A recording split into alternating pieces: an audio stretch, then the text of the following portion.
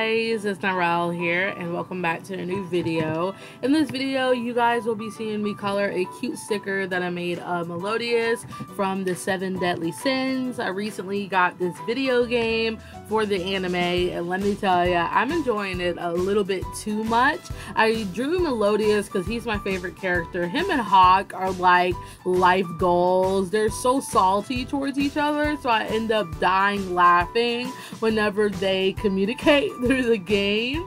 So anyways, I kind of wanted to make this quick video just to kind of state that I'm just not happy where I am. It's not going to be a sad, filzy video, but I'm just not happy where I am art-wise since I am graduated from school and since I only work now. I thought, hey Narelle, maybe you could draw a little bit more since you only work, but that's not the case. I do not draw as much as I want to. I barely get the time to do full body stuff. I barely get the time to sketch or enjoy sketching in my sketchbook and this needs to change. It's just because my work hours are long and exhausting. so I pretty much only have weekends off but Monday through Friday I'm at my job. So I just don't have time for stuff that I like anymore. And like I said, it's going to change. So hopefully you guys will not be seeing a lot of fan art videos because I realize I've been doing a lot of fan art videos and not original videos.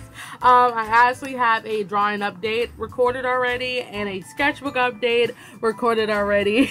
I just need to get around to like uploading them. I'm so lazy when it comes to that. So anyways, just expect new things on my channel. And I really want to bring back the OC introduction. So if you have any characters that I have not done already that you want to know more about, let me know. I really want to make one for Rohei because I really feel like with Kahori's intro, it'll help the story make a lot more sense because someone actually commented that he was a jerk on her video.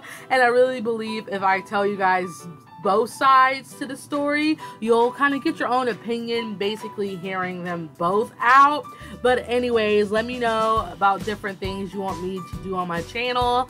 Um, I'm not really big on um, color challenges, like the three color challenge, the one color challenge, because I don't know. It's just not my thing, man. I don't know. I'm very weird when it comes to challenges. I actually like to do challenges that challenges me and using three separate colors. It's challenging to kind of blend them right, but you know, it's not challenging to the point to where I'm like, I want to do that. So thank you guys so, so much for watching and I will see you in my next video. Bye.